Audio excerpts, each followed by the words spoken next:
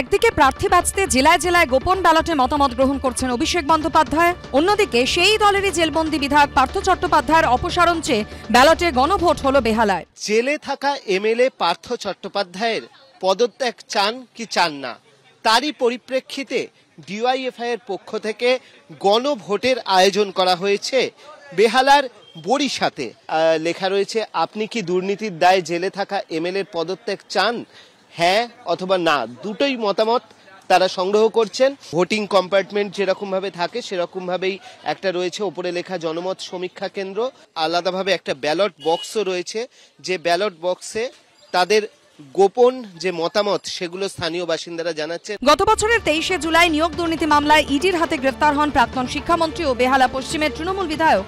পার্থ চট্টোপাধ্যায়। তারপর থেকে ন মাসেরও বেশি সময় ধরে তিনি জেলবন্দী। এই পরিস্থিতিতে সাধারণ মানুষ বিধায়কের পরিষেবা পাচ্ছেন না এই অভিযোগ তুলে এবং তাকে অপসারণের দাবিতে এদিন বেহালার এলআইসি মোড়ে রীতিমতো বুথ তৈরি করে ভোট গ্রহণের ব্যবস্থা করে সিপিএম এর যুব সংগঠন ডিওয়াইএফআই।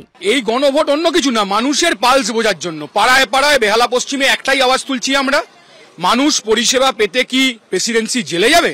মানুষ বিধায়কের পরিষেবা পেতে সার্টিফিকেট পেতে উন্নয়নের কাজ পেতে ডেভেলপমেন্টের কাজ পেতে কি প্রেসিডেন্সি জেলে যাবে? সকাল নটা থেকে এগারোটা পর্যন্ত ব্যালট বক্সে জমা পড়ে সাড়ে চারশোরও বেশি মতামত। একজন বিধায়কের কাছ থেকে যে পরিষেবাটা সাধারণ মানুষের পাওয়ার দরকার নিশ্চয়ই তার জন্য আমাদের প্রেসিডেন্সি জেলে যেতে হবে না। যে চেঞ্জটা দরকার ওনার অবিলম্বে পদত্যাগ চাই এবং আমাদের এখানে একটা নির্বাচনের মাধ্যমে আমরা নতুন বিধায়ক চাই। শেষে দেখা গেল নিজের কেন্দ্রে গণভোটে ডাহা ফেল রাজ্যের প্রাক্তন শিক্ষামন্ত্রী। প্রদত্ত চারশো একষট্টিটি ভোটের মধ্যে পার্থ চট্টোপাধ্যায়ের অপসারণের পক্ষে ভোট পড়েছে চারশো একত্রিশটি। কিন্তু সিপিএম এর যুব সংগঠনের আয়োজিত গণভোটেও পার্থ চট্টোপাধ্যায়ের সমর্থনে ভোট দিলেন পঁচিশ জন। বাতিল হয়েছে পাঁচটি ভোট। মানিক জেলে পার্থ চ্যাটার্জির জেলে। মানুষের কাছে আমাদের ছেলেরা গেছে এবং সার্ভে করেছে। তাদের মানুষের একটাই কথা যে, এর চাইতে বেশি অসম্মান নাগরিক জীবনে বেহালার মানুষ ভাবা যায় না। সঙ্গতভাবেই তারা ওর পদ খারিয়ে দাবি জানিয়েছেন। সিপিএম বলেছে no vote to BJP no vote to Trinamool.